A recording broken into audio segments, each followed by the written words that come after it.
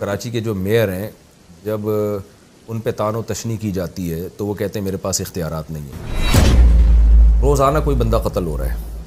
परसों तरसों चंद दिन पहले किसी खातून को कत्ल कर दिया। स्वीडन से एक नौजवान अपनी वाइफ के साथ और अपने बच्चे के साथ यहाँ यूपी पे उसको कत्ल किया। रोज़ाना फजर की नमाज़ में ना मसाजिद के आइमा बदुआएँ करें कि अल्लाह हमारे सिंध के हुक्मरानों में जो इनका ज़िम्मेदार है इन हालात का जो कंट्रोल कर सकता है कंट्रोल नहीं कर रहा है, अल्लाह तो उसको तबाह बर्बाद कर एक बच्चा इकरा यूनिवर्सिटी का पढ़ने वाला था, यहाँ पर वो पहुँचा अपने घर पे सवा बारह बजे, यहीं सेक्टर एट में।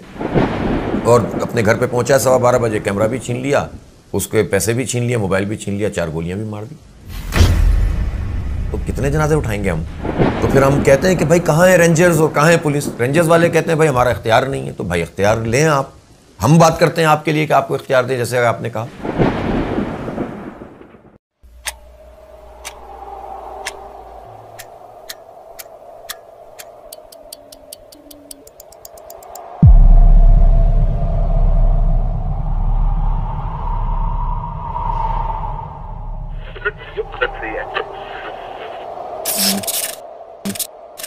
मुफ्ती तारिक मसूद पॉडकास्ट बसमीम कराची के हालात आप सबको मालूम है रोज़ाना कत्ल गारत मेरे बयान में अक्सर आप सुनते रहते हैं गटरों से ढक्कन गायब हैं ढक्कन फ्री गटर कचरा और कबाड़ खाना और मोबाइल स्नैचिंग और हमारे जो तालीमी निज़ाम है स्कूलों में कॉलेजों में यहाँ तक है कि मैं जब किसी बच्चे से मिलता हूँ स्कूल में तो पूछता हूँ आप कौन सी क्लास में नहीं पढ़ रहे वंस अपॉन अ टाइम ये पूछा करते थे, आप कौन सी क्लास में पढ़ते हैं? आप चल रहा है कि नहीं पढ़ रहे। तो सियासी हालात पर बहरहाल गहरी नज़र रखते हैं हाफिज़ नईम साहब। जमात इस्लामी के, कराची के अमीर हैं। तो मैंने आज इनको दावत की दी है अपने पॉडकास्ट में। कुछ हम भी थोड़ा सा इनसे मालूम लेने की कोशिश करेंगे। अस्सलाम वालेकुम वरहमतुल्लाहि वबरकातुहू। वालेकुम अस्सलाम वरहमतुल्लाहि क्या हाल है जी? खैरियत से आप? अल्लाह का शुक्र बिल्कुल ठीक। सबसे पहले तो आप थोड़ा सा अपना तारुफ करवाएँ ना। एक तारुफ तो आपकी पर्सनल लाइफ से मुतालिक होगा। वो नहीं बल्कि जमात इस्लामी में आप कैसे आए? देखें सियासी तंजीमों के बारे में मशहूर है कि जब तक कोई बदमाश ना हो अमीर बन नहीं सकता। ठीक है ना? हम्म। तो करप्ट ना हो बदमाश। मशहूर है कतः नज़र इससे कि सही है गलत है। तो आप में कौन कौन सी बदमाशियाँ थी कि आप अमीर बन गए? कराची के जमात इस्लामी के। अच्छा। और आपका नाम है हाफिज़ नईमान तो क्या आप कुरान मजीद के हाफिज़ भी हैं? जी जी और आपकी क्या क्वालिफ़िकेशन है? थोड़ा सा इस बारे में आप बताइए। मुफ्ती साहब जितने बदमाश हैं आपके सामने हैं जितने शरीफ हैं आपके सामने हैं। मैंने ज़ाहिर तालब इलमी के ज़माने में यानी स्कूल भी साथ साथ पढ़ा और फिर हिफ्ज़ कुरान हमारे मैं हैदराबाद में हम लोग पैदा हुए थे। मैं पैदा हुआ था तो वहाँ फिर प्राइमरी एजुकेशन और मेट्रिकुलेशन मैंने वहीं से की थी। सही। तो उसी दौरान में हमारे मोहल्ले में एक मस्जिद होती थी लतीफ़ाबाद में तो वहाँ पर दोपहर में और रात में हिफ्स करने के लिए जाते थे। वो भी चलता रहा स्कूल भी चलता रहा। तो ये दोनों चीज़ें अलहमदिल्ला हो गई थी। आ, उसके बाद फिर मैं यहाँ कराची में हम लोग मुंतकिल हो गए थे लेट एटीज़ में एटी सेवन में मैंने मैट्रिक किया था। उसके बाद से हम लोग कराची में हैं। तो अब ये भी ज़ाहिर है कि तेरह और यूँ समझ लें कि अब कितने साल हो गए पैंतीस साल हो गए तो यहीं से इंटरमीडिएट किया यहीं से एन यूनिवर्सिटी से तालीम हासिल की सिविल इंजीनियरिंग की और जमीयत में मैं आ गया था इस्लामी जमीयत तलबा में तालब इलमी के ज़माने में। तो वहीं से फिर पढ़ने पढ़ाने का सिलसिला शुरू हो गया किताबें पढ़ रहे हैं कोर्सेज हो रहे हैं स्टडी सर्किल हो रही है फिर और बहुत सारी एक्टिविटीज़ होती थी बुक फेयर करा रहे हैं टूर्नामेंट करा रहे हैं। तो वो होता है ना कि फिर उसके नतीजे में आदमी के अंदर चीज़ें पैदा हम्म। होती चली जाती हैं।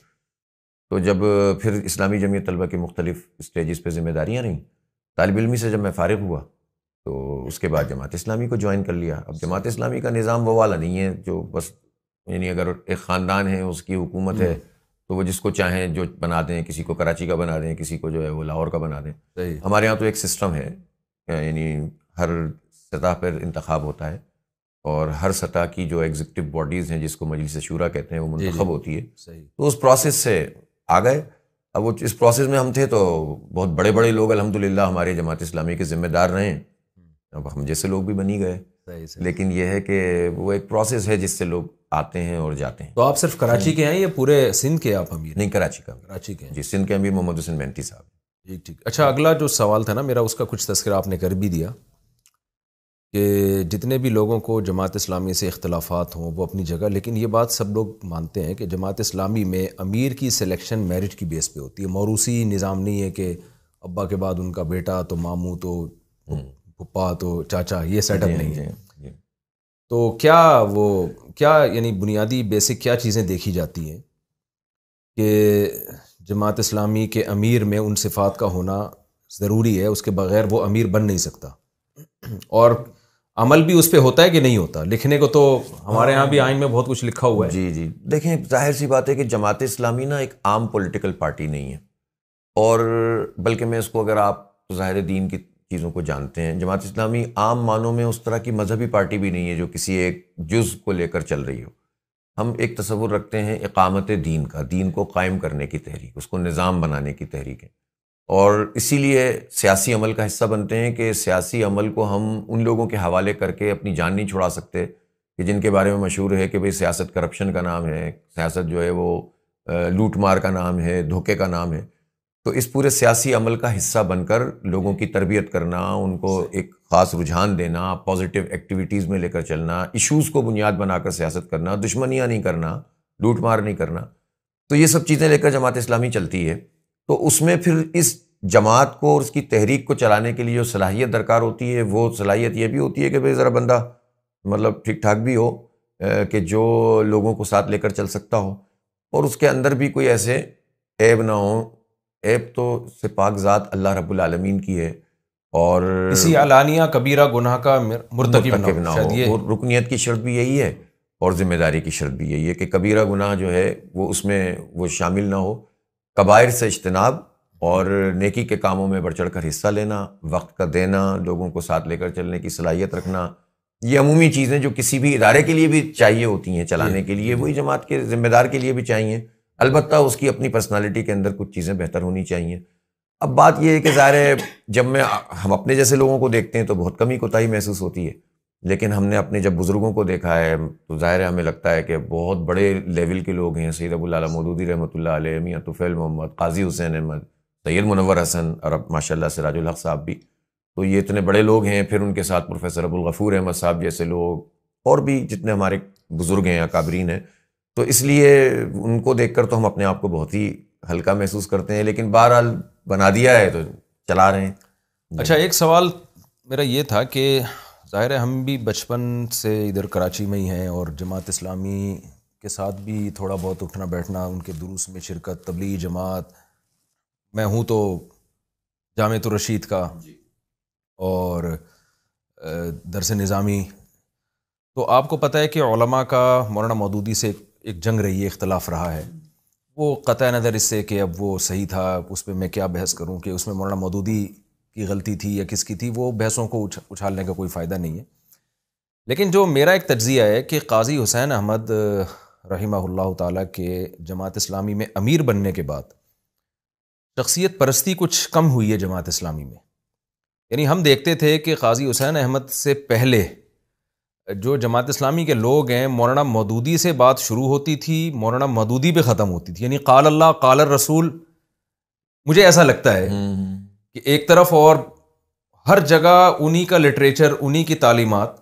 तो काजी हुसैन अहमद साहब रहीमहुल्लाह ने आके ये किया उन्होंने कहा भाई जमात इस्लामी किसी शख्सियत को प्रोमोट करने के लिए या उस उनके नज़रियात के प्रचार के लिए नहीं है। सही।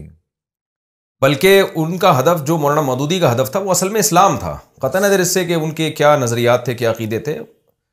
तो आप क्या समझते हैं? मेरा ये मुशाहिदा ठीक है कि काजी हुसैन अहमद के आने के बाद फिर हमने देखा कि जमात इस्लामी में बहुत सारे ने भी शमूलियत की है और तफसीरें मुख्तलिफ़ पढ़ाई जाती रही हैं। हज़रत मुफ्ती तकी उस्मानी साहब की, मुफ्ती शफ़ी उस्मानी साहब की और थोड़ा सा ये चेंजिंग आया है। अच्छा आप कह सकते हैं, कुछ थोड़ा सा हो सकता है ये बात लंबी हो जाए, लेकिन है बहुत अहम आपका ये सवाल।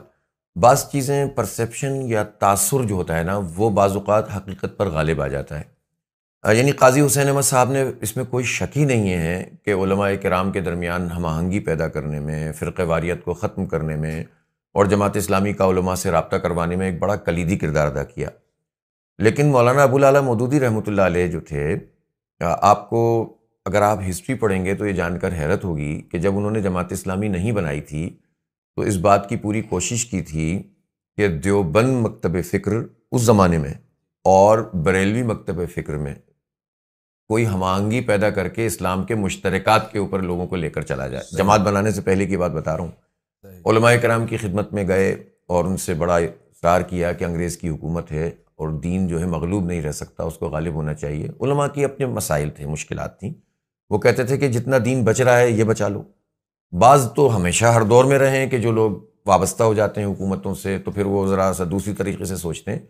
लेकिन जो हक़ थे, वो भी ये कहते थे कि अब क्योंकि एक तजर्बा गुजर चुका था ना, सन अठारह सत्तावन का तो उसके बाद फिर, लेकिन मौलाना का ख्याल ये था कि नहीं, इस्लाम गलबे के लिए आया है, मगलूब रहने के लिए नहीं आया तो हमें कुछ ऐसा सोचना चाहिए। बहरहाल वो काम कामयाब नहीं हो सका था। उसके बाद फिर मौलाना मदूदी ने जमात इस्लामी बनाई। पूरा लिटरेचर उनका इस बुनियाद पर है कि हम मुश्तरकात पर इकट्ठा करें, जुजियात में जाकर इख्तलाफ पैदा ना करें। मौलाना मदूदी वो शख्सियत हैं जिन्होंने ख़ुद अपने लिटरेचर में लिखा है कि जमात इस्लामी के अरकान के लिए मेरी फ़िकही राय से मुतफ़ होना ज़रूरी नहीं है। मेरा ख्याल है ये बड़ा हौसला चाहिए। आप भी जानते हैं इस बात को कि कोई आलम दीन जो ख़ुद ये कहे कि मेरी फ़िक राय जो है ना, मेरी मेरी जमात का मसलक नहीं है।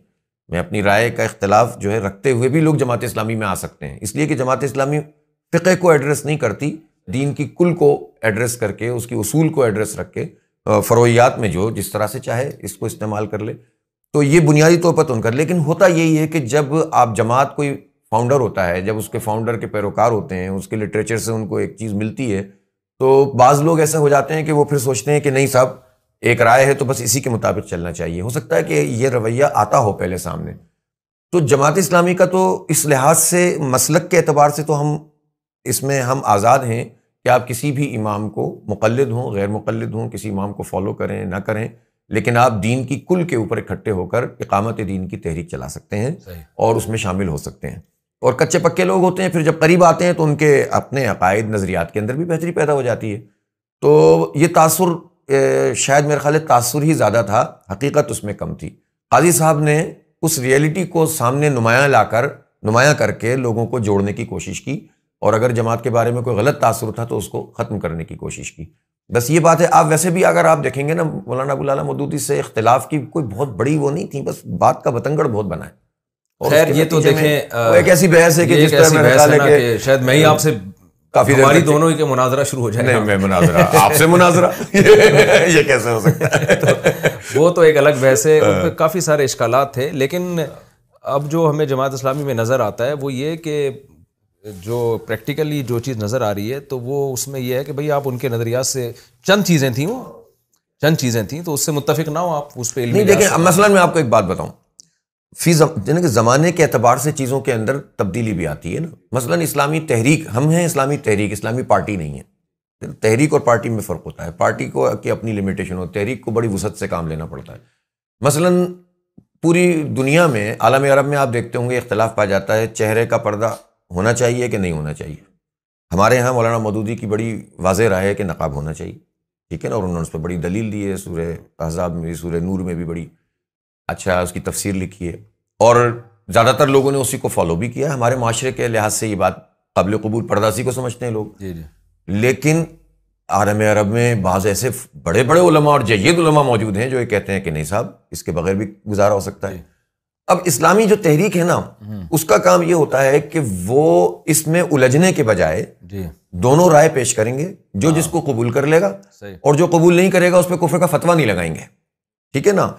और अगर गुंजाइश निकलती है इस्लाम के वसीतर तनाजुर में अपनी तहरीक को आगे बढ़ाने की तो फिर आपकी राय ना भी हो तो इस इस जो इजाज़त है उसको आप कबूल करके बात को आगे बढ़ाते हैं। बिल्कुल सही। तो खैर देखें मौलाना मदूदी से ये वो तो एक अलग बहस है पर्दा ना पर्दा ये उस सहाबा के बारे में थोड़ा सा उलमा को उनसे तहफात हैं लेकिन वो मैं अभी जो मैंने आपको बुलाया है उस टॉपिक पे बात करने के लिए नहीं हाँ, बुलाया। तो अभी तो हम कराची के दुखड़े जो है वो आपके सामने हाँ, शेयर करेंगे हाँ, इस वक्त तो हालात तो उसी के चल रहे हैं। वो तो एक किस्सा था जो ख़त्म हो गया।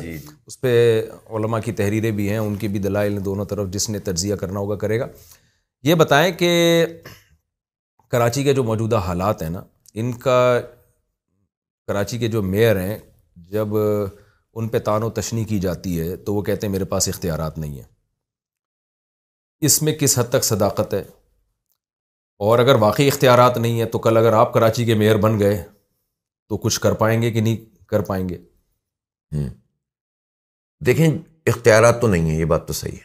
जो एक मेयर को इख्तियार मिलना चाहिए किसी भी शहर में, दुनिया में मरूफ है ये बात वो तो बिल्कुल भी नहीं है। और जो था, वो भी आहिस्ता आहिस्ता खिंचता चला गया।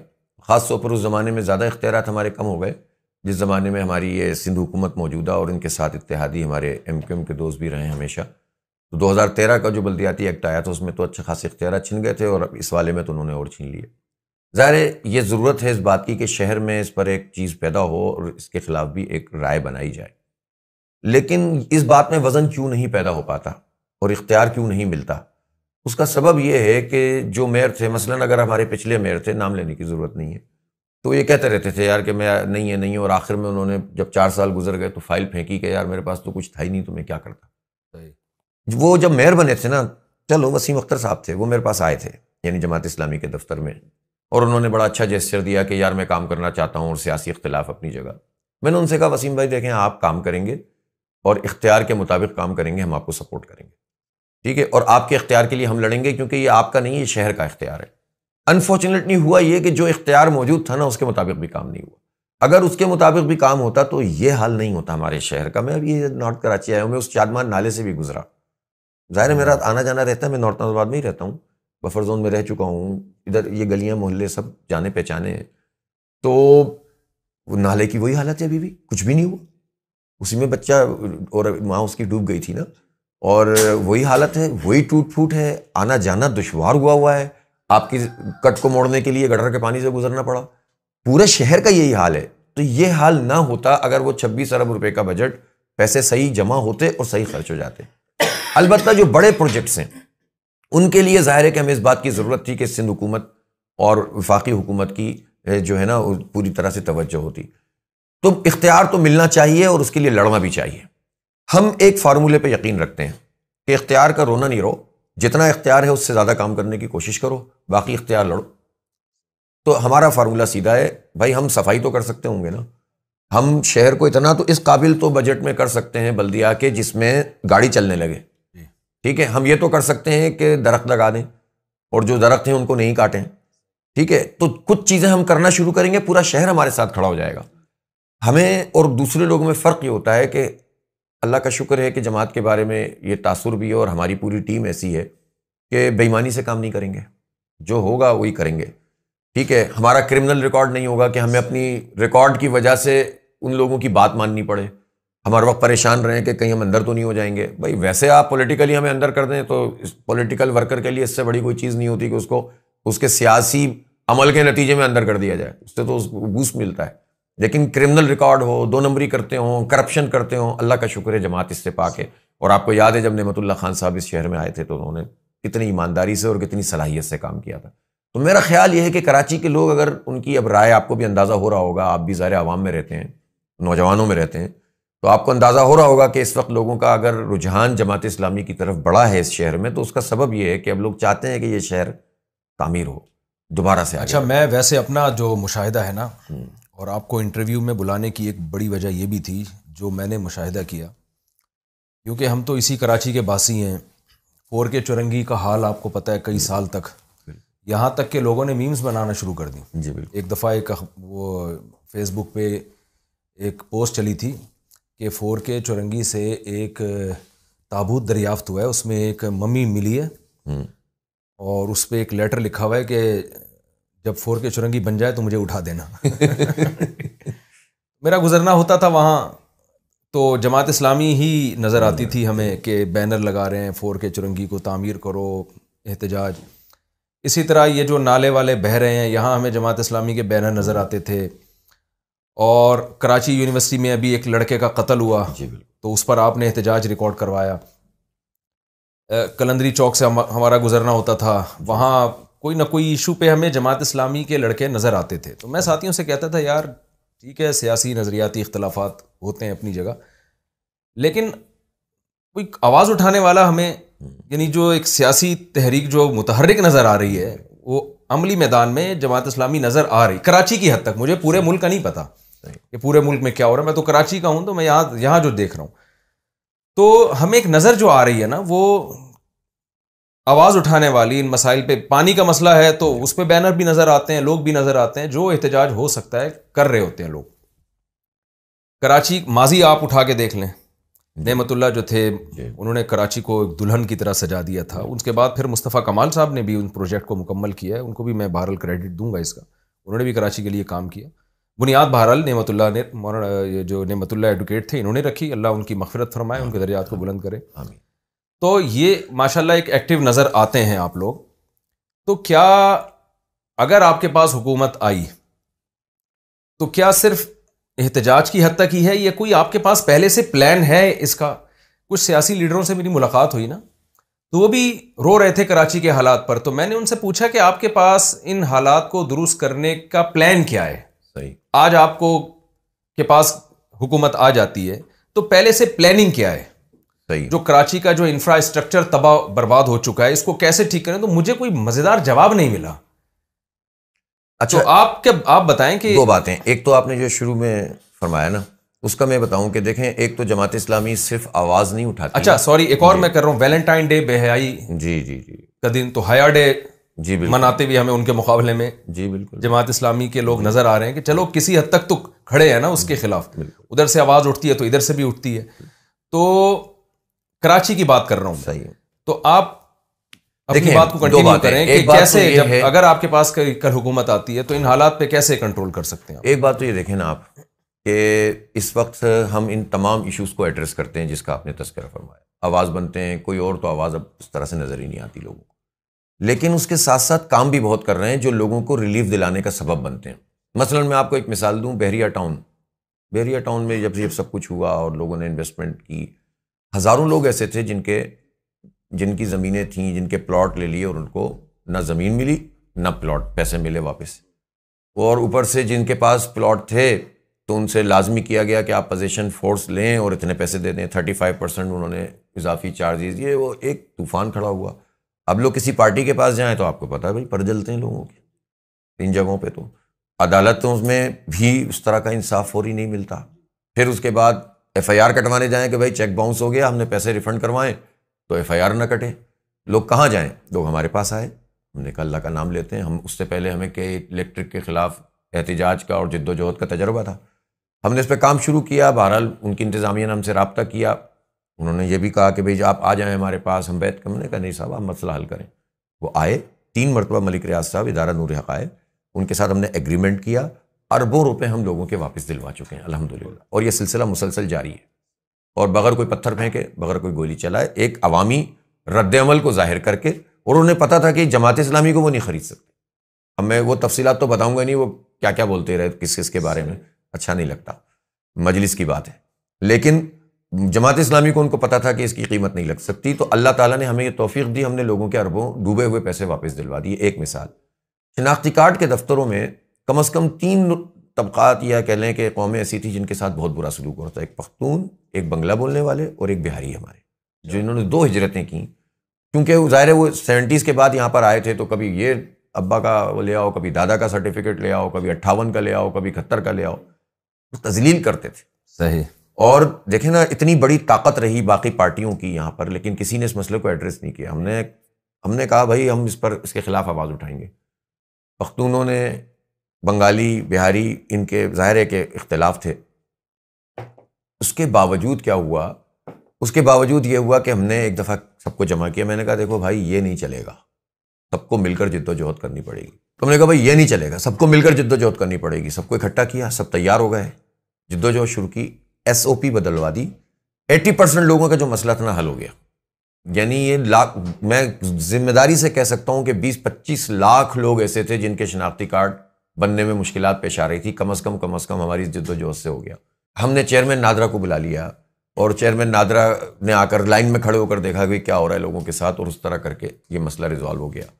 क्या इलेक्ट्रिक के खिलाफ तो कोई बात ही नहीं करता था। सारी पार्टियों का इन्होंने हिसाब किताब बनाया हुआ था। अभी भी यही चल रहा है। लेकिन हम एक ही पार्टी हैं जो नेपरा में भी जाती है, अदालत में भी गए, सड़कों पर बैठे। अब आपने महसूस किया होगा कि फ्यूल एडजस्टमेंट चार्जेस के जो पैसे लगकर आ रहे थे जब से हमने केस किया हुआ है, पिछले तीन महीने से तो उन्होंने नेगेटिव में जा रहा है। तो कुछ ना कुछ करने से फ़र्क पड़ता है। तो हम लोगों के मसले हल भी कर रहे हैं। फिर अभी आपने देखा होगा बच्चों और बच्चियों का हमने बनो काबिल के नाम से आईटी का प्रोग्राम शुरू किया। यानी आईटी स्किल ऐसी चीज़ है कि जॉब्स तो वैसे ही नहीं है यहाँ बच्चों के लिए। हमारे लड़कों के लिए तो जॉब्स नहीं है ना भाई यहाँ कराची में। लेकिन चले यार, अब सिर्फ़ आवाज़ उठाने से भी कुछ नहीं होता। हमने कहा भाई इनके रजिस्ट्रेशन करते हैं। लाखों की तादाद में रजिस्ट्रेशन हुई, इनके कोर्स किए टेस्ट लिया इंटरव्यूज़ हुए। अब इसी एक एक हफ़्ते में इनकी क्लासेस, दस हज़ार बच्चों का बैच शुरू कर रहे हैं छः महीने का कोर्स है। जैसे ही इंशाल्लाह कोर्स ख़त्म होगा, इनको, और जॉब्स का भी पहले से अरेंजमेंट कर रहे हैं, जॉब अवेलेबल हैं। और ये हमारे दस हज़ार बच्चे बच्चियाँ जॉब पे लग जाएँगे, और बच्चियों के लिए फ्रीलांसिंग भी है कि घर बैठे काम करें आप। तो ये हम अमलन ये काम कर रहे हैं, अस्पताल चला रहे हैं, क्लिनिक्स चला रहे हैं, पानी के प्लांट चला रहे हैं। यूटिलिटी सर्विसेज़ दे रहे हैं मैयत गाड़ियाँ चला रहे हैं स्कूल चला रहे हैं उस्मान वैसे मैं अपना तजर्बा थोड़ा लोगों से शेयर करूँ। मैंने एक बयान में भी ये बात कही थी कि जमात इस्लामी ने अगर सौ शोबों में काम किया है अच्छा उसको बड़ा नेगेटिव लिया था लोगों ने। मैंने कहा था 99 शोबों में कामयाबी से उनको निभाया है। जैसे ट्रस्ट हैं हॉस्पिटल हैं उस्मान पब्लिक स्कूल की सारी दुनिया तारीफ़ करती है। तो मैंने उसमें कहा था कि एक चीज़ में जमात इस्लामी नाकाम है सियासत। उसका मतलब ये था कि अवामी पजीराई नहीं है। तो इसकी आप क्या वजह है? यानी अगर आप देखते हैं ना काम अलखदमत हॉस्पिटल है। तो सब फ़ायदा उठाते हैं हम भी उठाते हैं फ़ायदा। उठाते रहे बहुत अरसे तक। एक प्रोजेक्ट लगाया यहाँ अलखदमत हॉस्पिटल में साफ़ पानी का। जी। तो मुझे नहीं पता मुझे नहीं लगता कि उतना अच्छा पानी मैारी पानी कोई और भी दे रहा हो। होगा मेरी नॉलेज में नहीं है कोई मैं दावा नहीं कर रहा। तो हम में से हर हर एक की कोशिश होती है भाई वहाँ से जाके पानी लेकर आओ। जापान के साथ दो इश्तराक जी जी बिल्कुल में है। बिल्कुल उसके प्लाट में। तो और इस तरह के जितने प्रोजेक्ट हैं तालीमी है मैंने उस्मान पब्लिक स्कूल का तस्करा किया आप क्या समझते हैं कि इतनी मैनेजमेंट के बाद भी और मेरिट की बेस पे इंतखब हो रहा है जी उसमें ये भी देखा जा रहा है जी जमात की नमाज़ की ये पाबंदी करते हैं नहीं करते। रिज़ल्ट वो क्यों नहीं आ रहे हैं जो आने चाहिए? अच्छा लंबा सवाल है ये भी ज़ाहिर है लेकिन उसमें यह है कि माजी में इस शहर में ना बड़ा जबर की कैफियत भी रही है। ये मैं मानता हूँ कि लेट एटीज़ में और अर्ली नाइन्टीज़ में जब एम क्यूम आई थी तो वो बहुत बड़ा एक तूफ़ान था अवामी सतह का तूफ़ान था। और लोगों ने यह समझा था कि चूँकि महरूमियाँ तो इस निज़ाम में मौजूद है ना आदिलाना निज़ाम अगर इस्लाम का हो तो फिर महाजिर को पठान से क्या मसला और पठान को पंजाबी से क्या मसला? तो चूँकि जो तबका है वो ये चाहता ही है कि हम आपस में तकसीम रहें तो वो महरूमियाँ पैदा करते हैं। उन महरूमियों को आवाज़ देने के लिए कुछ लोग खड़े होते हैं और वो भी उन्हीं के मकासद को पूरा कर देते हैं। तो यहाँ महरूमियाँ थीं और उसको उजागर किया और लोगों ने समझा निजात दहिंदा हमें मिल गए और हमारे मसाइल हल हो जाएँगे। लेकिन चार छः साल के बाद ही पता चला कि नहीं वो मसाइल तो हमारे और ख़राब हो गए। हमारी तो तालीम भी हमसे चली गई हमारी तहजीब भी हमसे चली गई वगैरह वगैरह।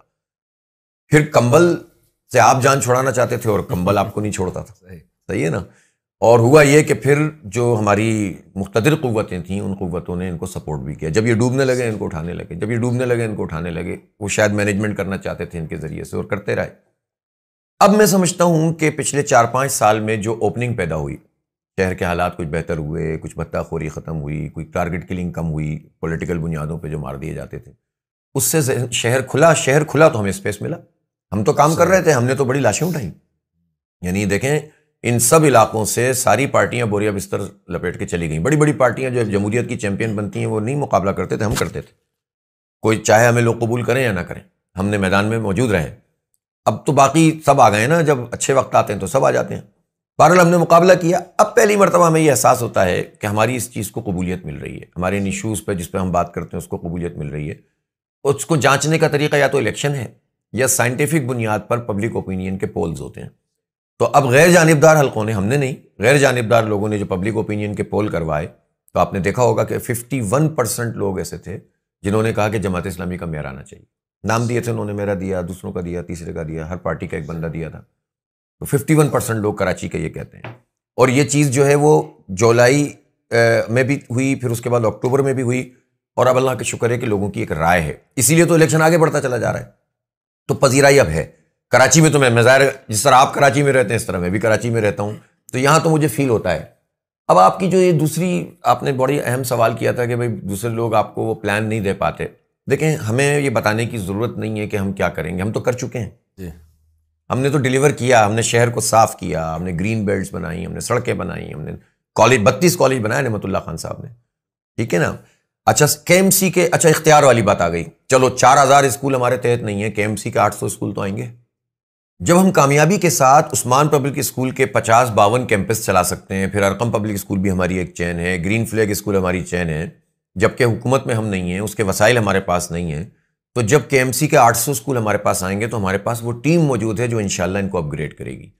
देखिए, मुझे दुख होता है कि जो सरकार के स्कूल होते हैं, उसमें बच्चे दाखिल नहीं करवाते अपने बच्चों लोग, और उसकी वजह यह कि वहाँ तालीम नहीं होती। तो पहले तो सिर्फ़ हुकूमत के लोग नहीं कराते थे, अब तो कोई भी नहीं कराना चाहता उनको मालूम है कि वहाँ बच्चा जाके क्या करेगा। हमारा हम ख्वाब भी ये है और करके दिखाएँगे इनशाला ये तो हम कर देंगे अपने, जो भी इख्तियार होगा उसमें।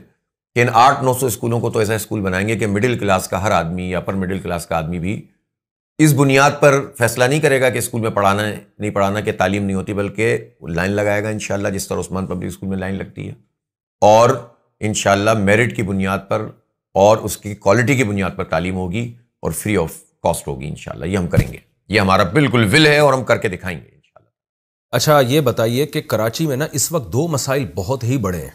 एक टारगेट किलिंग बल्कि टारगेट किलिंग से तो ताबीर नहीं करेंगे डकेतियाँ जो मोबाइल स्नैचिंग है स्ट्रीट जो स्ट्रीट क्राइम्स हैं।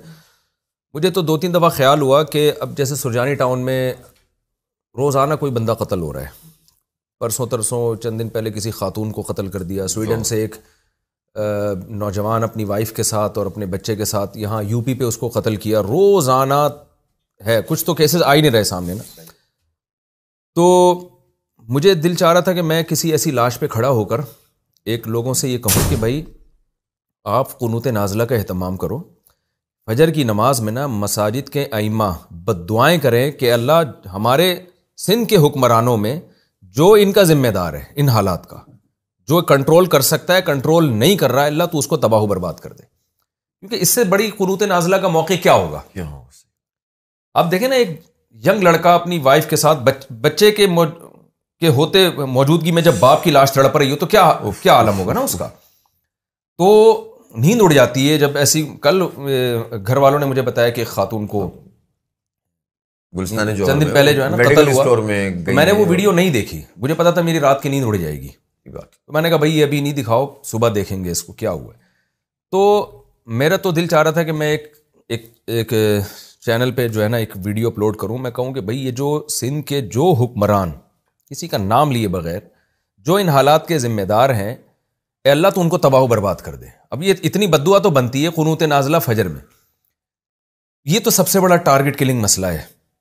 आप क्या समझते हैं कि आपकी राय में इनका ज़िम्मेदार कौन है?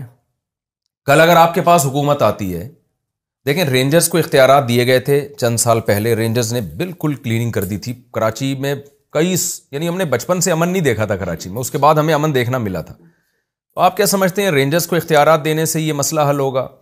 कराची को अलग सूबा बनाने से मसला हल हो जाएगा? या क्या इसके लिए क्या पॉलिसी होनी चाहिए? अवाम देखें, जमहूरी तर्ज हुकूमत में ना जो एक बड़ा, एक मनफी एक पहलू है इसका यही नहीं पता चलता इनके जिम्मेदार है कौन। जी जी। जैसे अभी आपने बताया ना कि अब मेयर से अगर आप बात करते हो मेरे पास इख्तियार नहीं है तो या तो कोई ऐसी किताब हो जिसमें हमें बचपन से पढ़ाई जाए कि गटर के ढकनों का इख्तियार फ़लाँ के पास है गली के सफ़ाई का इख्तियार फ़लाँ के पास है और मोबाइल स्नैचिंग रोकने का इख्तियार फ़लाँ के पास है। ताकि हम जाएँ उनके घर के बाहर पूरी कौम को ले जाके बिठा दें हम। तो हमें यही नहीं पता चलता कि इन हालात का ज़िम्मेदार कौन है। मेरे मेरी भी मुलाकातें होती हैं पीपल्स पार्टी से भी और मुस्लिम लीग से भी। जब भी किसी से बात करो भाई कौन जिम्मेदार है? तो वो कहते हैं हमें तो इख्तियार ही नहीं है। हम्म। तो आपका तजर्बा क्या कहता है और आपकी नॉलेज क्या कहती है? देखें हुकूमत जो कर रहा हो और जिसके निज़ाम में लॉ एंड ऑर्डर को बरकरार रखना उसकी ज़िम्मेदारी हो तो ये कहकर तो हुकूमत जान नहीं छुड़ा सकती कि हम नहीं कर सकते ये मसला है वो मसला है। कनूत नाजला तो बनती है सीधी बात है लेकिन जद्दोजहद भी बनती है। और सही रास्ते का इंतखब भी बनता है। क्योंकि ज़ाहिर अल्लाह ताला भी उस वक्त ही दुआएँ सुनता है जब बंदा फ़िज़ाए बदर पैदा कर फरिश्ते तेरी नुसरत को उतर सकते हैं, गर्दों से कतार अंदर कतार अब भी। कि जब आप अपनी हर मुमकिन कोशिश करें और फिर अल्लाह ताला से आगे गिड़गिड़ाएँ तो अल्लाह ताला फिर फरियादें सुनता है। दुआएँ तो वरना जमा भी हो जाती हैं। बात यह है कि सिंध हुकूमत बर रास्त ज़िम्मेदार है। पंद्रह साल से बरसर इकतदार है। पंद्रह साल से बरसर इकतदार है। हमारे यहाँ लॉ इन्फोर्सिंग एजेंसीज एक पुलिस है। एक रेंजर्स है, जो बर रास्त यहाँ पर मौजूद है। पुलिस में रिफॉर्म्स होनी चाहिए थी। पुलिस के सिपाहियों को अपग्रेड करना चाहिए था। उनकी तनख्वाहें बेहतर बनानी चाहिए थी। मेरिट की बुनियाद पर उनकी तकर्री होनी चाहिए थी। न लिसानी बुनियाद पर, न सियासी बुनियाद पर, न शहर की बुनियाद पर। हाँ जिस शहर की पुलिस हो, उसमें 80 परसेंट मकामी लोग होने चाहिए। मकामी का मतलब ये नहीं होता कि आप महाजिर हैं, या आप सिंधी हैं, या बलोच हैं। मकामी का मतलब है कि जो परमानेंट रेजिडेंट है किसी शहर का जो कानून आप ही का बनाया हुआ है उसके मुताबिक। उसका मुस्तकिल पता है वो रेजिडेंट है यहाँ का। एटी परसेंट अफसरान और अहलकार आप वहाँ से लें और बाकी ट्वेंटी परसेंट कहीं से भी लें मुल्क है सबका है। लेकिन जब उल्टा काम होगा तो वो पुलिस अहलकार भी और पुलिस अफसरान का स्टेक ही नहीं होगा। जिसका स्टेक इस शहर में नहीं होगा उसको उस तरह ऑन नहीं करेगा। नेचुरल बात है। तो जो जहाँ का पक्का रिहायशी हो कोई ज़ुबान बोलने वाला हो उसको फोकियत मिलनी चाहिए मेरिट पर आना चाहिए। तीसरी बात यह है इसमें कि रेंजर्स को अब इन हालात में जो इस वक्त लाशें गिर रही हैं तो इख्तियार क्यों नहीं देते? हम रेंजर्स के हवाले से भी ज़ाहिर है, जब एक बिल्कुल जिस तरह आपने फरमाया ना, कि लाश पे खड़े होकर आदमी कहे कि यार बदुआ जो भी इसका जिम्मेदार हो तो दिल तो कुड़ता है ना, जब बच्चों की लाश देखते हैं यार। इंजीनियर बन रहा है थर्ड ईयर में एक बच्चा एकरा यूनिवर्सिटी का पढ़ने वाला था, यहाँ पर वो पहुँचा अपने घर पर सवा बारह बजे, यही सेक्टर एट में। और अपने घर पर पहुँचा, सवा बारह बजे कैमरा भी छीन लिया, उसके पैसे भी छीन लिया मोबाइल भी छीन लिया, चार गोलियाँ भी मार दी। तो कितने जनाजे उठाएँगे हम? तो फिर हम कहते हैं कि भाई कहाँ है रेंजर्स और कहाँ है पुलिस? रेंजर्स वाले कहते हैं भाई हमारा इख्तियार नहीं है। तो भाई इख्तियार लें आप। हम बात करते हैं आपके लिए कि आपको इख्तियार दें जैसे आपने कहा। तो हुकूमत का काम है उन्हें इख्तियार दें। जब इतना इतना बड़ा बजट मौजूद है तो इख्तियार भी दिया जाए। तीसरी बात यह है कि जब ये नेशनल एक्शन प्लान बना था आपको याद होगा कि भाई दहशत गर्दी है फलां है ये है वो है। उस नेशनल एक्शन प्लान में दो चीज़ें थी। एक तो कराची उसका बड़ा अहम तरीन सब्जेक्ट था पॉइंट था। उसके मुताबिक बहुत सारी मीटिंग्स हुई। उसमें दो चीज़ें तय हुई। एक काइनेटिक एक्शन और एक नॉन काइनेटिक एक्शन कहलाया। काइनेटिक एक्शन ये था कि मुजरिमों को पकड़ो, कब्जा करो, ये करो, ये मंशियात का अड्डा चल रहा है, उसको पकड़ो, कार्रवाई करो। ठीक है? नॉन काइनेटिक ये था कि भाई मुलाजमतें दो, सड़कें बनाओ, लोगों को तालीम दो, रोज़गार दो। अब आठ साल गुजरने के बाद सिंध हुकूमत ही नहीं, विफाकी हुकूमत भी और जो नेशनल एक्शन प्लान के जिम्मेदार थे, चाहे हमारे मुख्तर तबके क्यों ना हो ये उनकी भी तो ज़िम्मेदारी है ना कि भाई फिर आप रिव्यू करें ना कि आपने कितनी मुलाजमत दी है कराची के लोगों को।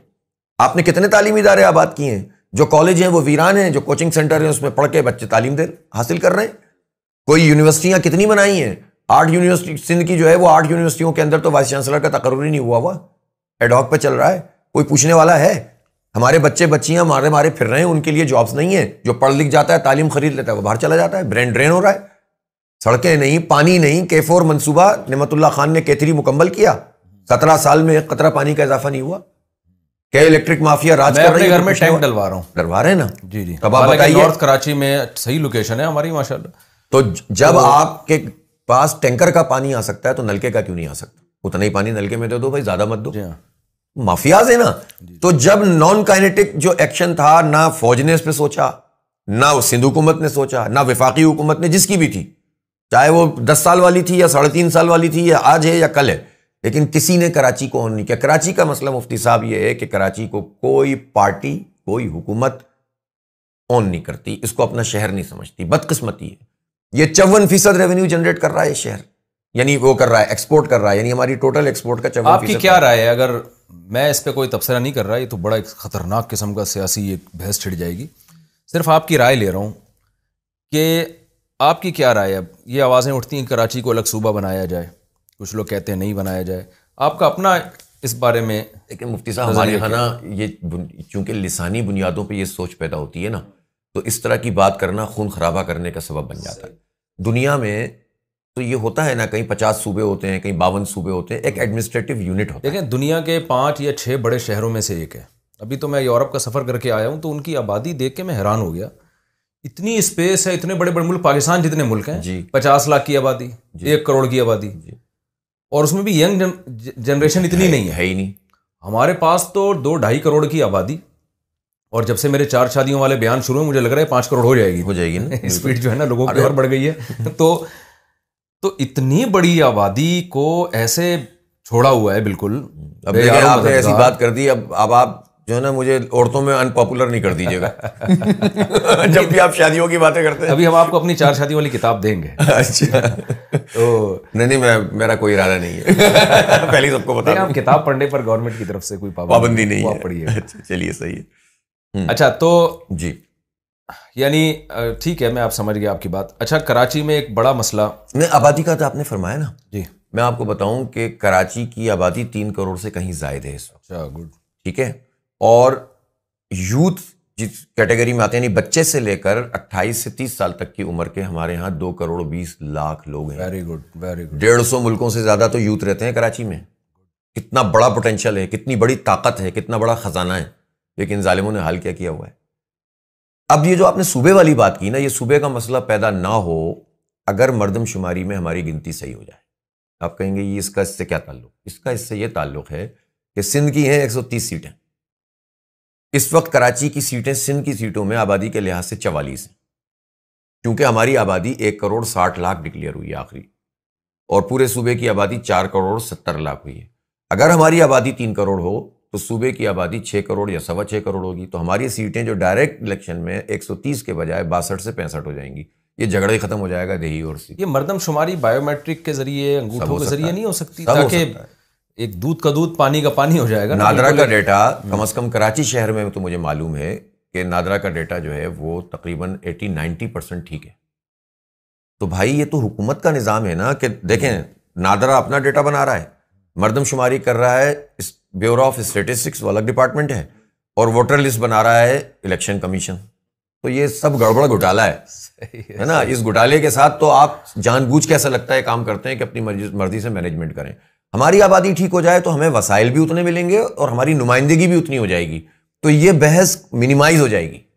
लेकिन ये बहस छिड़ती ही उस वक्त है जब आप हक नहीं दे रहे होते अख्तियार नहीं दे रहे होते तो ये चीज़ यार हमारा सूबा होना चाहिए।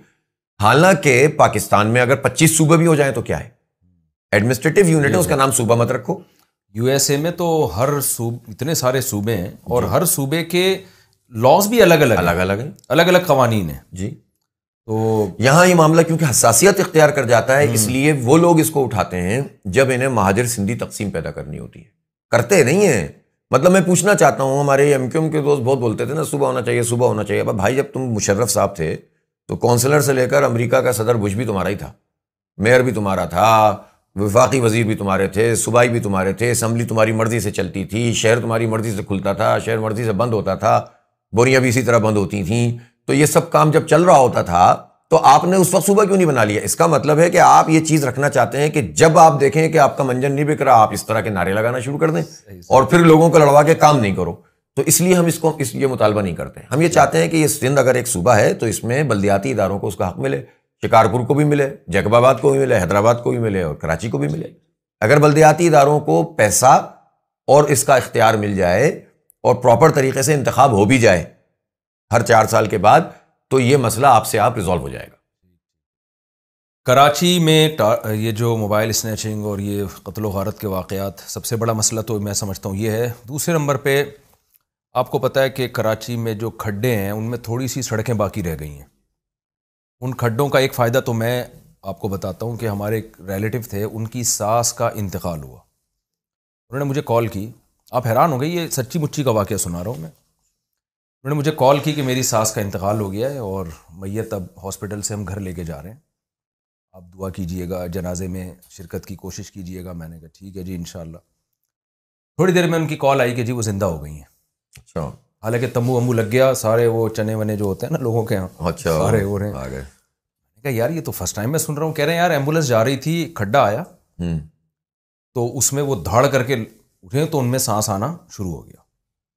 तो वो कौमा इतना खतरनाक किस्म का था या कि सकता ऐसा था कि डॉक्टर भी ये समझे कि इनका इंतकाल हो गया। तो ये कराची के लोगों को सहूलत है कि जो प्रेग्नेंट खवातीन हैं इन खड्डों में उनका बच्चा हो जाता है बगैर ऑपरेशन के। गुर्दों की पथरी भी रिपोर्ट है कि निकली है बाज़ लोगों की। और बेहोश लोग होश में आ जाते हैं कौमे के में गए हुए लोग ज़िंदा हो ज़िंदा हो। जाते हैं। हम्म। अगर आपके पास गवर्नमेंट आई तो इस सहूलत से आप कराची के लोगों को सुनाए कि महरूम करने का इरादा रखते हैं। जो थोड़ी सी सड़क बाकी रह गई है उसको ज़ाहिर है आपने जो नक्शा खींचा है ना बात तो असल में यही है कि इनके पास और क्या जवाब है कि मेरा ख्याल ऑफिशियली वो कहते हैं कि हमने ये सहूलतें दी हुई हैं लोगों को। क्योंकि बाकी तो कोई जवाब नहीं है लोगों को खड्डों में गिराने का। देखें यार हाल ये है चिंगची रक्षों में धक्के खाती हैं हमारी औरतें। कैसी तबीयतें उनकी हों? मैंने एक आम से आदमी को मैंने जब फोर के चौरंगी का आपने तस्करा किया तो मैं वहाँ जाता था धरनों में। एक दिन मैंने वहाँ कहा कि यार इस फोर के चौरंगी है ना एक चिंची रक्षे में, उस वक्त इमरान खान साहब भी थे और उस वक्त यहाँ ज़ाहिर है कि ये मुराद अली शाह साहब भी थे, गवर्नर भी थे और फला। मैंने कहा, इन सबको इस चिंचे रक्शे में बिठाएँ और फोर के चौरंगी के दो तीन राउंड लगवाएँ और उसके बाद इनकी हड्डियाँ चेक करवाएँ तो फिर पता चल जाएगा इनको कि कराची के लोगों के साथ और माए बहनों के साथ क्या सलूक कर रहे हैं ये लोग जालिम। पैकेजों का ऐलान कर रहे हैं, देते कुछ नहीं है। तो यही हाल है इस वक्त। अभी वाक़ता ये ये हकीकत है कि पिछले दिनों एक ग्रुप ने कुछ नौजवानों का जो बाइक चलाते हैं उनका सर्वे किया मेडिकल और उनके जब पट्ठों का और हड्डियों का जायज़ा लिया तो अच्छी खासी जो है सेवेंटी एटी परसेंट डैमेज लोग निकले अच्छा। ये शहर के साथ कर क्या रहे हैं आप। आपके पास सबसे बड़ी अयाशी इस वक्त क्या है? या तो आपके घर में गाड़ी हो तो एक हर आदमी तो गाड़ी नहीं चलाएगा ना भाई। घर का बड़ा गाड़ी ले जाएगा तो कौन चलाएगा? पैंतालीस लाख से जायद बाइक हैं। और इसी तरह चिंची और ये मास ट्रांजिट नहीं है। ठीक है जो ग्रीन लाइन चलाई वो अधूरी। जो रेड लाइन बना रहे हैं उसको बेड़ा गर्क कर रही है और करेगी इसलिए कि उसका डिज़ाइन सही नहीं है। वो मुझे पता है कि क्या उसमें चक्कर है। सही। लाइट रेल सिस्टम का मंसूबा बनाया था नेमतुल्ला खान साहब ने। एलिवेटेड ऊपर और नीचे अंडरग्राउंड सड़क मौजूद रहती ऊपर चलती ट्रेन और नीचे। जैसे आपने देखा होगा लाहौर में मेट्रो ट्रेन चलती है। वो ऊपर ही ऊपर है लेकिन ये अंडरग्राउंड भी मंसूब। पाँच कॉरिडोर बनने थे। सर्कुलर रेलवे से इंटरकनेक्ट होना था और पंद्रह बीस हज़ार बसें उस वक्त आ जाती। और जब आप एक दफ़ा इंफ्रास्ट्रक्चर ठीक करते हैं तो इन्वेस्टर आते हैं। अब इस वक्त कौन बस लेकर आएगा इन सड़कों पे? भाई बताइए मुझे। जब बस, सड़कें ठीक होंगी, आपको सिस्टम चल रहा होगा, बाइकें कम हो जाएँगी, गाड़ियाँ कम हो जाएँगी, गाड़ियाँ होंगी भी तो उसकी ट्रेवलिंग कम हो जाएगी। एक आदमी को अपने स्टॉप पे चलना है, अगले स्टॉप पे उतरना है, उसके बाद दूसरी चीज़ को कनेक्टिविटी मिल जाएगी साफ़ सुथरे तरीके से जाएगा तो वो क्यों बाइकें चलाएगा और गाड़ियाँ चलाएगा? ट्रैफ़िक का लोड कम होगा पेट्रोल का जो ईंधन ईंधन की जो हमारी वो है इंपोर्ट वो कम हो जाएगी। लेकिन इन जालिमों ने पिछले सत्रह साल में कोई एक काम नहीं किया। जिसके नतीजे में ये सब मसाइल हैं तो हम इनशाला ये पूरा अज़म रखते हैं। देखें फ़ौरन तो कोई काम नहीं हो जाता। और हम वो भी नहीं है कि सिर्फ़ ऐसी बात करें कि बाद में भी तो आप किसी दिन बुला सक बुलाकर जो है पॉडकास्ट करेंगे ना। ऐसा तो नहीं होगा कि छोड़ देंगे बल्कि ज़्यादा क्रिटिकल हो जाएँगे। तो जिस बात का बाद में जवाब देना है तो आदमी पहले ही इतनी इतनी लंबी लंबी ना दे। तो इसलिए मैंने हम ये कहते हैं कि हम काम तो शुरू करेंगे कि शहर में चलने फिरने के काबिल हो ये सफ़ाई सुथराई का निज़ाम बने ये छः महीने का हमारा होगा गोल कि हम इस तरह से चलाएँ। फिर उसके साथ साथ जो बड़े प्रोजेक्ट्स हैं, उसके लिए हम अब एक सिंक्रोनाइजेशन इसके लिए लफ्ज़ इस्तेमाल होता है कि इन तमाम महकमों को एक साथ बिठाएँ। इख्तियार ना भी हो तो अगर कोई वाली वारिस हो ना शहर का और जेनवन मेयर हो, आप यकीन करें, आप सोचें नमतुल्ला खान साहब इस वक्त शहर में होते हैं, उनके पास यही वाला इख्तियार होता जो वसीम अख्तर का। वो इस तरह रोते हुए जाते तो नाटका बंद कर देते हैं इन लोगों का। वो चौक चौराहे पे खड़े हो जाते लोग उनके साथ आकर खड़े हो जाते, बोलते, भाई, ये मसला हल कराओ, ये मसला हल कराओ। मुराद अली शाह को उनके पास आना पड़ता। आप यकीन करें, हम उन्हीं के फॉलोअर हैं। काम करेंगे, काम करवाएँगे। ये मैं बिल्कुल आपसे, इसमें तो कोई दो बात ही नहीं है। और जो इख्तियार है ना, उससे ज़्यादा करेंगे। मैं आपसे ये कहूँ, हम आईटी यूनिवर्सिटी बनाएँगे इस शहर में। चाहे मेरे इख्तियार में हो या ना हो, मुझे मालूम है कि इसकी कितनी ज़रूरत है। पैर पढ़ना पड़े ना इंडस्ट्रियलिस्ट के कहेंगे, भाई, निकालो पैसे। अपने इंडस्ट्री के तहत अब मुख्तलिफ़ जगहों पर बच्चों को स्कॉलरशिप दो। ये हमारे शहर के बच्चे इसलिए नहीं है कि इनको हम समंदर में फेंक दें या कातिलों के हवाले कर दें। या मुल्क से बाहर चले जाएँ सब नहीं जा सकते दो करोड़ लोग। हम करेंगे इंशाल्लाह मुफ्ती साहब आप बेफिक्र रहें अच्छा ये बताइए कि कोटा सिस्टम के बारे में भी एक राय यह है कि इसने भी कराची के सेटअप को तबाह बर्बाद किया है। आप इसको मेरिट की बेस पे समझते हैं कि सिस्टम बहाल होना चाहिए या ये जो कोटा सिस्टम चल रहा है कोटा सत्ता कायल हैं। कोटा सिस्टम देखें क्या है। पहले ये बहुत समझने की ज़रूरत है। बुनियादी तौर पर यह कोटा सिस्टम विफाकी हुकूमत की जो मुलाजमतें होती थी ना विफाकी गवर्नमेंट की मुलाजमतों उसमें लगा था। उसमें हर सूबे का एक कोटा है। किसी का सत्रह फ़ीसद किसी का उन्नीस परसेंट किसी का कुछ। हमारे सूबे का भी उन्नीस परसेंट कोटा है। बाकी सूबों में इस तरह से था कि सबका पूरा ओवरऑल कोटा है। पंजाब है तो पंजाब का पूरा फिफ्टी वन परसेंट कोटा है। कहीं से भी पंजाब का बंदा होगा, उसको विफाकी मुलाजमतों में, अगर सौ मुलाजमतें तो इक्यावन मुलाजमतें पंजाब को मिलेंगी। इसी तरह के पी इसी तरह फाटा, इसी तरह। सिंध में यह हुआ कि जो हमारा सत्रह परसेंट गालिबन, या उन्नीस परसेंट है, उसको दो हिस्सों में तकसीम कर दिया गया, ये 1973 में। और उसमें यह कहा गया कि 40 परसेंट आबादी चूँकि शहरी है तो शहरी मुलाजमतें होंगी और 60 फ़ीसद देही है तो देही होंगी। ये काम सिर्फ़ 10 साल के लिए किया गया। और इसलिए किया गया था विफाकी मुलाजमतें भी और विफाकी इदारों की जो तालीमी इदारे थे उनमें भी। ये इसलिए किया गया था कि जो इंटीरियर सिंध है उसको अपग्रेड करें हम दस साल में। वो बेहतर हो जाएगा तो फिर हम मेरिट कर देंगे पूरे। सही। दस साल और उस वक्त सबने इसको कबूल कर लिया। उसलिए कबूल किया कि तमाम पार्टियों में दस्तूर पे इतफाक होने जा रहा था। दस्तूर पे इतफाक नहीं हो पा रहा था। भुट्टो साहब की हुकूमत थी मुल्क आधा रह गया था बांग्लादेश बन गया था बहुत बुरे हालात थे। तो प्रोफेसर अब्दुल गफूर अहमद मौलाना शाह अहमद नुरानी हज़रत मौलाना मुफ्ती महमूद साहब रहमत इन सब लोगों ने बैठकर और फिर जो एन पी भी थी, उस वक्त नैप होती थी, फला फला सबने कहा, यार, कि इस पर इतफाक़ कर लो। और ये यहाँ अपने अंदरून सिंह के भाइयों के लिए, बहनों के लिए ये एक सहूलत इख्तियार की। दस साल मुकम्मल हुए तो ज़िया साहब की हुकूमत थी ज़िया साहब ने इसको दस साल मजीद बढ़ा दिया अपने प्रेजेंटेशन प्रेजेंटेशन जो ऑर्डर होता है उसके ज़रिए। फिर उसके बाद नवाज़ शरीफ साहब ने इसको बीस साल के लिए और बढ़ा दिया। अब इमरान खान साहब तो सबसे आगे निकल गए। उन्होंने इस कोटा सिस्टम को गैर मुन मुद्दत के लिए बढ़ा दिया। दो बातें हैं इसमें। एक तो यह कि उस वक्त चालीस फ़ीसद शहरी आबादी थी और दही आबादी साठ फ़ीसद थी। तो अब तो बावन तिरपन परसेंट शहरी हो गई है और अड़तालीस फ़ीसद दही हो गई है लेकिन कोटा वही चल रहा है। दूसरी बात यह कि इसमें कहीं नहीं लिखा था कि सुबाई मुलाजमत भी फोर्टी सिक्सटी की बुनियाद पर होंगी। अच्छा। सुबाई हुकूमत की लेकिन ये इन्होंने खुद ही शुरू कर दिया। अच्छा। ठीक है? इसके नतीजे में महरूमियाँ पैदा हुई। इसके नतीजे में मुलाजमतों में मसला पैदा हुआ। तो फिर ज़ाहिर है कि ये जो असला बेचो, टीवी बेचो वी सी आर बेचो, असला खरीदो और कोटा सिस्टम नामंजूर, ये तहरीक चली यहाँ पर। वो अलग बात है कि आखिरी जो गैर मुना मुद्दत के लिए कोटा सिस्टम में इजाफा हुआ है वो माशाल्लाह एम क्यू एम और पी टी आई एक की चौदह सीटें, एक की चार सीटें, दोनों की विफाकी काबीना ने गैर मुना मुद्दत के लिए इजाफा मिलकर करवाया है। तो अब आप सलाम किसको पेश करेंगे? यानी जिसने, जिस पे इतने जवान लुट गए कत्लो गारतगरी हो गई काफिले लुट गए मर गए हम नफरतों का शिकार हो गए वो लोग खुद अपने हाथों से ये काम कर रहे हो। हम ये कहते हैं कि ये कोटा सिस्टम के बजाय मेरिट का निज़ाम बनाए और आप इंटीरियर सिंध का जवाब तो दें आपने 40-45 साल में किया क्या वहाँ पर? और मैं तो अपने सिंध के उन अंदरून सिंध के भाइयों से कहता हूँ कि ये सवाल तो इन हुकूमतों से करो ना कि तुम हमारे नाम पर कब तक खाते रहोगे। मैं अभी ये सिंध का दौरा करके आया हूँ ना सैलाब के बाद तो हमारे जो। सिंधी भाई हैं बेचारे बहुत कसमापुरसी की हालत में वक्त गुजार रहे हैं। बिल्कुल ऐसा ही। तो उनके साथ ऐसा लगता है कि शायद सबसे ज़्यादा जुल्म हुआ है। ऐसा ही है बिल्कुल। और अभी तक उस सैलाब के उससे निकले नहीं है वो। जो उनकी हालत है ना यानी हमारे पास साथी तो फूट फूट के रो रहे थे उनको देख के। दो दो तीन तीन दिन से भूखे। जो गरीब गरीब की बात कर रहा हूँ मैं।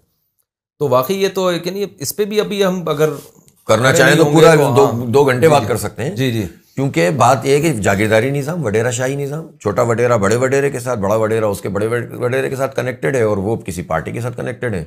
तो ये जबर का निज़ाम है जिसमें अपनी राय क्या होती है? वो बेचारे उनको आप डुबो दें आखिर में आटे की थैली बांट दें वो खुशी अच्छा मैं आपसे एक अच्छा इसमें एक मुफ्ती साहब ज़रूर बात है और वो ये है कि अब तो जाली डोमिसाइल भी बन रहे हैं।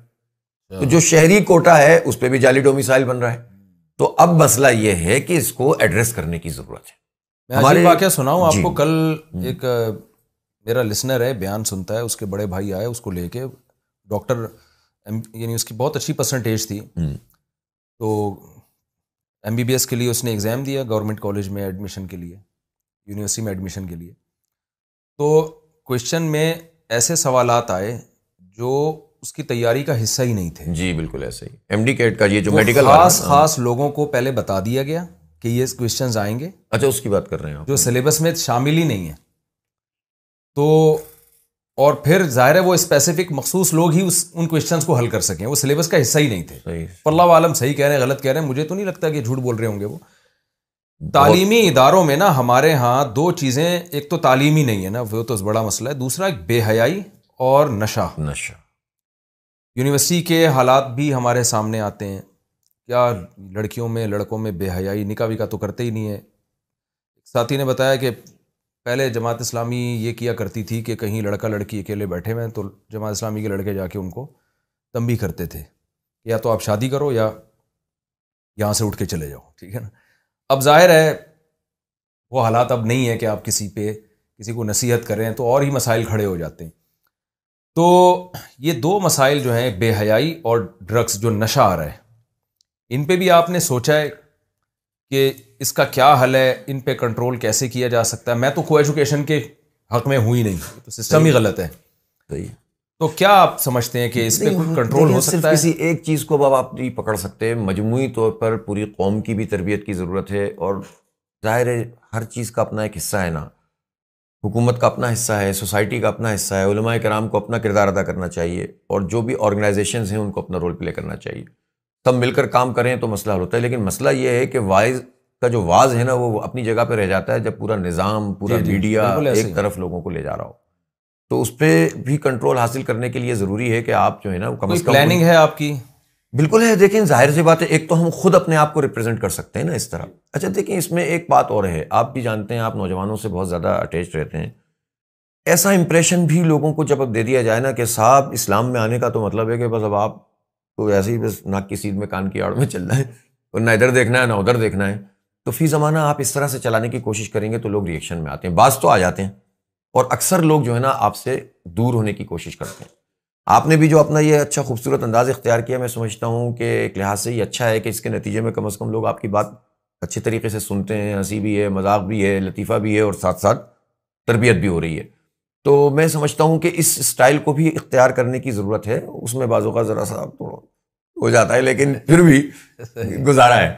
ठीक है लेकिन दूसरी बात यह कि ना ये तदबियत भी लोगों की करने की ज़रूरत है कि दीन की कुछ जो बड़ी बुनियादें हैं ना उनके ऊपर आप ज़्यादा फोकस करें। दीन हया का नाम है दीन अपने बड़ों की इज़्ज़त का नाम है दीन मामलात का नाम है दीन लेन देन का नाम है दीन एक निज़ाम है। बाज़ात क्या होता है कि जुजियात जो है ना गालिब हो जाती हैं। मतलब जैसे वज़ा कता है। वज़ा कता की बड़ी अहमियत है लेकिन वज़ा कता की अहमियत अगर आप दीन के एक दो तीन चार पाँच छः सात आठ में देखेंगे तो हो सकता है किसी का सातवां नंबर हो। तो सातवें को अगर आप पहला कर देते हैं तो लोग समझते हैं यार अब ये कहाँ से मैं शुरू करूँगा? ठीक है ना? तो नाइन्टी नाइन परसेंट लोग कट जाते हैं। यानी मेरा इस पर एक मजमुई तौर पर लोगों की तरबियत की भी ये सवाल मैंने आपसे करना था हम्म, जो। प्रायोरिटीज हैं वो आपकी नज़र में क्या है? ठीक है। यानी कराची के मसाइल की मैं बात कर हाँ, उसमें तो हम कर सकते हैं। उसी पे कि तरजीहात क्या है आपकी नज़र में? हाँ, देखिए सबसे पहले किसको फिर किसको फिर किसको फोकस करना है आप हाँ, ये वाली चीज़ मैं आपको बताता हूँ। ये तो मैंने एक ओवरऑल चूँकि आपने दूसरे मसले पे बात की थी और मनशियात वाली जो आपने बात की है इस पर भी मैं आपको ये ज़रूर कहना चाहता हूँ कि इस पर हमें पूरी तहरीक चलाने की ज़रूरत है। मनशियात सिर्फ़ वो लोग इस्तेमाल नहीं कर रहे जो कुछ नहीं करते। मनशियात अब वो वाली मनशियात हैं वो ड्रग्स हैं जो उन बच्चों को ज़्यादा कहा जा रहा है कि जो पढ़ने में तेज़ होते हैं। कि तुम ज़्यादा जाग सकते हो ज़्यादा अच्छा पढ़ सकते हो ज़्यादा अच्छा रट्टा लगा सकते हो तुम ये आइस पियो तुम फला पियो तुम ये सूंगो अब आप सोचें कि हमारे इस ब्रेन के साथ ये क्या सलूक कर रहे हैं। जहर उतार रहे हैं जालिम। और ये हो नहीं सकता कि पुलिस के निज़ाम के बगैर ये काम चलता। इसलिए अब मैंने अभी पिछले दिनों रेंजर्स के भी जो आला हुकाम है वो भी बड़ा कंसर्न रखते थे। मैंने भी उनसे बात की पुलिस के लोगों से बात की हुकूमत से बात की। और हम कल हम जो एक हमने लाएमल का ऐलान किया है ऐलान कराची के नाम से उसमें तो टॉप प्रायोरिटी हमारी ये है कि एक एजुकेशन के लिए ना सिर्फ़ ये कि हम हुकूमत पर दबाव डालेंगे, बल्कि ख़ुद ऐसा निज़ाम बनाएँगे, एक तहफ़ के लिए मोहल्ला कमेटियों को हम डेवलप करेंगे और तीसरा मनशियात के अड्डे अपने बच्चों को बचाने के लिए हम विजिलेंस कमेटियाँ बनाएँगे और इनकी निशानदेही करेंगे और इनका नाटका बंद कर देंगे।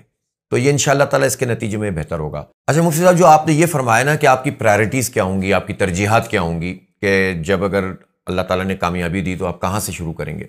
सीधी बात है कि कामयाबी मिलती है तो पहल, पहली बात तो यही होगी कि यार इस शहर को ये मैसेज मिले कि यार कोई मेयर आ गया है कोई टाउन का चेयरमैन आ गया है कोई ग्रास रूट लेवल पर लोग आ गए गटर के ढक्कन जिस पर असल में ये प्रोनाउंसिएशन में बड़ा मज़ा आता है गटर के गटर के ढक्कन। वो ढक्कन तो पता और ये जो हमारे हाँ, कराची के लड़के हैं ना ये नहीं ढक्कनों पे बैठा करते थे इनकी भी सहूलत छीन ली गई। छीन ली गई। अब वो वो कहाँ बैठे तो बैठ नहीं सकेंगे मतलब। हाँ, वो कहाँ हाँ, बैठे तो वो तो पैरों और हाथ साथ ही जाएँगे नीचे। तो उसमें ये होगा कि ये गटर के ढक्कन तो कम अज कम लग जाएँगे। ये काम तो हो जाएगा ना। इसलिए कि देखें ये जो ये जो बेसिक वो होती है ना यहाँ का जो चेयरमैन वाइस चेयरमैन होता है यूसी का इसको पकड़ना बहुत आसान होता है।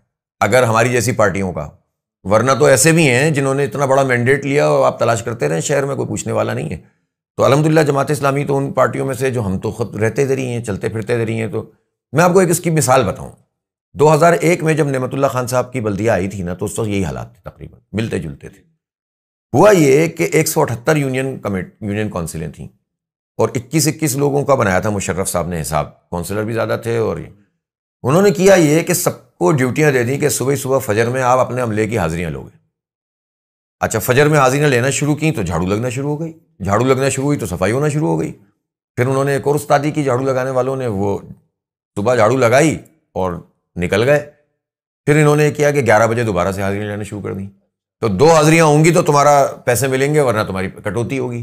तो पहले, यानी तकरीबन पंद्रह से बीस दिन के अंदर फ़र्क वाक़ होना शुरू हो गया। सफ़ाई नज़र आना शुरू हुई। फिर क्या हुआ? फिर ये हुआ कि ये कचरा जमा होता है ख़ास जगह पे लाकर हर यूसी में होता है फिर वहाँ से स्टेशन बने हुए होते हैं गार्बेज के वहाँ जाता है फिर वहाँ से लैंडफिल साइड पे जाता है। अब उसके लिए गाड़ियाँ चाहिए पेट्रोल चाहिए पता चला डीजल की पर्चियाँ चल रही हैं और गाड़ियाँ खड़ी हुई हैं ईंटों पर। बिल्कुल। मशहूर स्पीच है। बिल्कुल। और अभी भी यही हालत है। मैं आपको बता रहा हूँ। तो ये तो हम कर देंगे इनशाला उनको ईंटों से निकाल के टायरों में लगा देंगे। उनको चलाना शुरू करेंगे और जो पर्चियाँ बन रही हैं उनमें पेट्रोल डलना शुरू हो जाएगा। आप फ़र्क महसूस करेंगे। मुझे पता है बहुत बड़ा चैलेंज है। अब शहर वैसा शहर नहीं रहा जो 2001 वाला था।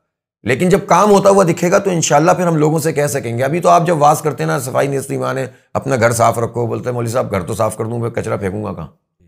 और जब वहाँ फेंक दूँगा तो उसके आगे कहाँ फेंकूँगा? मोहल्ला साफ़ करूँगा तो नाले में से कैसे निकालूँगा? नाले को साफ़ करूँगा तो आगे वाले स्टेशन पर जो कचरा पड़ा हुआ है। तो निज़ाम के बगैर आप नसीहत करें ना तो लोग नसीहत को भी नसीहत नहीं समझते। तो आपको कुछ ना कुछ देना पड़ता है तो आपकी बात में वज़न पैदा होता अच्छा कराची में कुत्ते बहुत हो गए हैं। क्या ये मुझे तो मैंने तो जब भी किसी से पूछा यार ये पहले तो केएमसी वाले मारते थे कुत्ते कुत्ते ना? हम्म।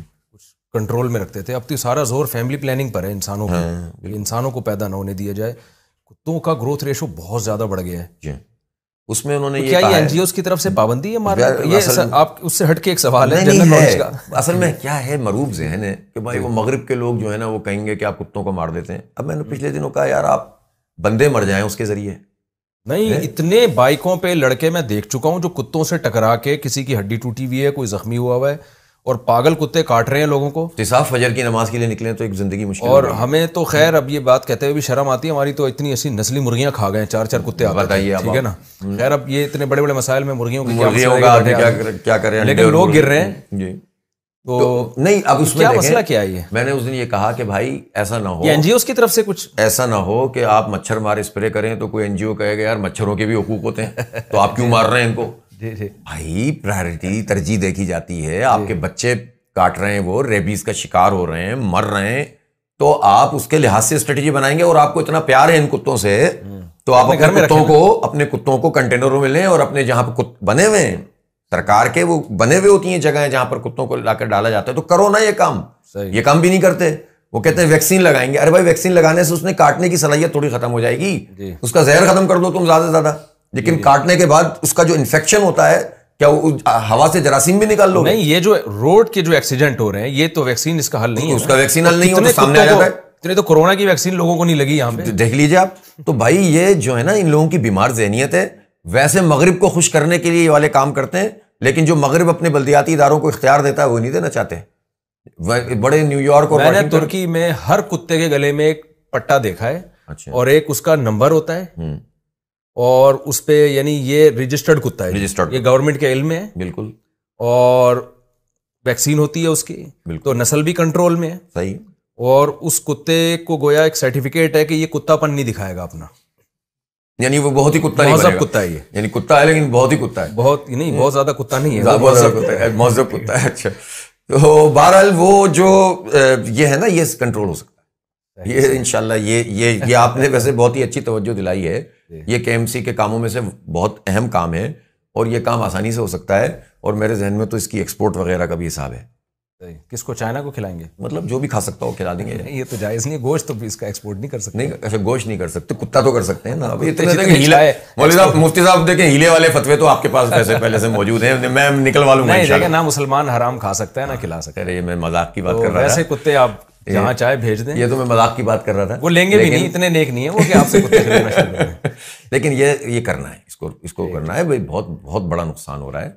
और मारना पड़ा तो मारेंगे कोई ऐसा मसला नहीं है। आप परेशान ना हो इसमें देखिए हमारे कितने जखायर हैं गैस तो हमारी अपनी है ना। जी बिल्कुल।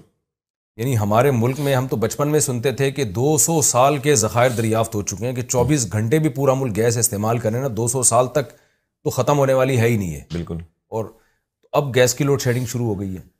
उसमें क्या सर्दियों में जब पानी गर्म होने की ज़रूरत है तो चूल्हा नहीं चल रहा होता। बिल्कुल। दोपहर को चल रहा होता है चूल्हा। जी। तो ये क्या क्या ये हुआ क्या है हुआ ये है कि उसकी एक रीज़न है। अब देखें सिंध में सेवेंटी वन परसेंट गैस निकलती है। पहले ज़्यादा बलूचिस्तान से निकलती थी। अब पाकिस्तान की जो इकहत्तर फ़ीसद गैस है सिंध से निकलती है। हमारे आइन में एक आर्टिकल है वन फिफ्टी एट उसमें लिखा हुआ है कि जिस सूबे में गैस निकलती है चलो मैं अभी बाकियों की बात नहीं करता अपने सूबे की करता हूँ। उसको तरजीह दी जाएगी, उसकी ज़रूरियात को। तो इंडस्ट्री वाले भी रोते रहते हैं और डोमेस्टिक भी रोते रहते हैं कि ज़ाहिर नहीं और इस वक्त भी वाकई यही सूरत हाल है कि आप रात को अगर देर से घर पहुँचें तो आपको जो है वो खाना चूल्हे पर गर्म नहीं हो सकता और आपको नहीं मिलेगा, आप सुबह का इंतज़ार कीजिए। और बाज़ जगहों पे तो सुबह भी जा रही है, लोड शेडिंग हो रही है, हालाँकि ये गैस का मसला नहीं होता था। देखें, इतना अरसा गुजर गया है, जो एक्सप्लोरेशन कहते हैं ना गैस को, एक तो उसकी टेस्टिंग करना और उसके बाद गैस निकालना। ब्लॉक्स कहलाते हैं ये कि बहुत सारे ब्लॉक्स आइडेंटिफाइड हैं सिंध में भी बलूचिस्तान में भी और इवन केपी में भी। लेकिन पिछले आठ दस साल से इस पर काम नहीं कर रहे। अब मुझे नहीं समझ में आ रहा कि क्यों नहीं कर रहे किसके कहने पे नहीं कर रहे। असल में अच्छा। देखें हमारे ऊपर पता नहीं कौन कौन सी चीज़ें लागू कर दी जाती हैं। जब ये आई एम एफ़ और वर्ल्ड बैंक आते हैं तो अकेले नहीं आते। कर्जे तो पकड़े हैं इन लोगों ने बड़े बड़े लोगों ने। मुसीबत में हमें डाल दिया है। और इनकी बातें मानते हुए आपको बहुत सारे काम से रोक देते हैं ये। मुझे नहीं पता कि आईएमएफ की शर्त में है कि नहीं है, लेकिन एक्सप्लोरेशन अगर ये करना चाहें तो आज का ये मसला तीन चार साल बाद हल हो सकता है। पाँच साल बाद हल हो सकता है, दस साल बाद हम बहुत बेहतर हो सकते हैं। ये बात बिल्कुल गलत है कि गैस के ज़ख़ायर हमारे यहाँ से ख़त्म हो गए, ये झूठ बोल रहे हैं। ये ज़ख़ायर को निकाल ही नहीं रहे। तो जो आइडेंटिफाइड ब्लॉक्स हैं, आप निकालना तो शुरू करें। और उसके बाद दूसरी बात यह है कि फिर आपने बहुत सारी चीज़ों में एलएनजी की तरफ़ आप गए। तो वक्त पर आपने इंपोर्ट नहीं की। पिछली हुकूमत ने भी ये हरकत की थी, इन्होंने की। तो महँगी भी पड़ती है। अब तो ये कहते हैं, हमारे पास पैसे ही नहीं है। जब पैसे थे, सस्ती पड़, मिसाल के तौर पर अगर सौ रुपए की एक चीज़ थी तो आपने जब वक्त पे अपनी नाहली की वजह से उसको इंपोर्ट नहीं किया तो वो आपको चार सौ रुपये की पड़ रही है। इसलिए कि पूरी दुनिया में मांग शुरू हो जाती है। तो उसके नतीजे में हमें महँगे रेट में मिलती है। जब सस्ते रेट में मिल रही होती तो हम अपनी, सिर्फ़ अपनी कागज़ी कार्रवाइयों में नाहली की वजह से, पिछली खानसा वाली हुकूमत में भी हरकतें होती थी और इस हुकूमत में भी हरकतें हुई हैं। तो इसके नतीजे में भी हमारे पास डिफिशेंसी पैदा हो रही है। तो नाअहली का शाकार हैं। अल्हम्दुलिल्लाह हम हुए तुम हुए कि मीर हुए कि जुल्फ़ों के सब असीर हुए। सारे ही। एक जैसे हैं। तो और मैं इतनी तफसील में नहीं जाता कि कहाँ पर सब एक जैसे हैं। तो इसलिए मेरा ख्याल है आज की बात इतना ही रहने दें। का तस्करा तो कर दिया और जुल्फ़ों का कर दिया। बस आपसे अर्ज़ यही है कि आप हमारे इन सारे प्रोजेक्ट्स में जो हम कराची का लाया अमल लेकर चल रहे हैं इसमें वो भी है कि जो मेयर बनने के बाद के हैं लेकिन वो भी है जो समाजी एजेंडे के तहत तालीम एजेंडे के तहत। तो आपकी आवाज़ एक ताकतवर आवाज़ है। आप हमारे इन सारे खैर के कामों में शिरकत भी फरमाइए सरपरस्ती भी फरमाइए आवाज़ भी हमारी बनिए और लोगों को भी कहें कि यार वोट डालने जाओ तो इंसान बनकर सीधा सीधा तराजू पे वोट डाल देना। जजाकल्ला जी हाफिज़ नईम साहब का बहुत बहुत शुक्रिया। मैं तो अब चूँकि ये सियासी चैनल नहीं है तो मैं तो कराची के हालात से बहुत परेशान था सभी परेशान हैं। हमने कहा जी इधर हाफिज़ नईम साहब का एक तजर्बा है सियासी लीडर हैं तो थोड़ा सा इनसे हम इनके नज़रियात और इन हालात पर कैसे काबू पाया जा सकता है थोड़ा सा इनका तजर्बा आपके साथ शेयर करें। आ, वोट तो हाफिज़ नईम साहब कहेंगे तराजू को दें पीटीआई वाले कहेंगे कि जी पीटीआई को दें एम क्यू एम कहेगी एम क्यू एम को दें। वो आपने खुद ही फैसला करना है जी। नहीं वो आपने किस नहीं वो तो आप तो यही फरमाइए। आप तो यही फरमाइए और मैं ये कहता हूँ कि आप पीटीआई के रहें। आप नून लीग के रहें आप एम क्यू एम के अगर अब भी रह सकते हैं तो रहें। लेकिन आप ये सोचें कि कराची के लिए आपकी पसंदीदा पार्टी ज़्यादा डिलीवर कर सकती है या जमात इस्लामी कर सकती है। बस मेरा मकसद ये है कि कराची के लिए हम सबको मुश्तरक होकर सोचना चाहिए। अपने सियासी इख्तलाफात को एक तरफ़ करके फ़िलहाल कराची को बचाने की कोशिश करें। हम तो पूरे मुल्क गए वो ये हालात कहीं भी नहीं है। पंजाब में भी नहीं है के पी के में भी नहीं है जो यहाँ हालात चल रहे हैं। यहाँ बहुत ख़तरनाक हालात हैं। बहुत शुक्रिया हाफिज़ नईम साहब का। अल्लाह ताला बहुत जजाय खैर दे उनको कि वो हमारी दावत पे यहाँ तशरीफ़ लाए और जो भी मुस्बत काम ये कर रहे हैं दिल से दुआ है अल्लाह ताला उसमें बरकत दे और खामियों की अल्लाह ताला इसलाह जजाक बारक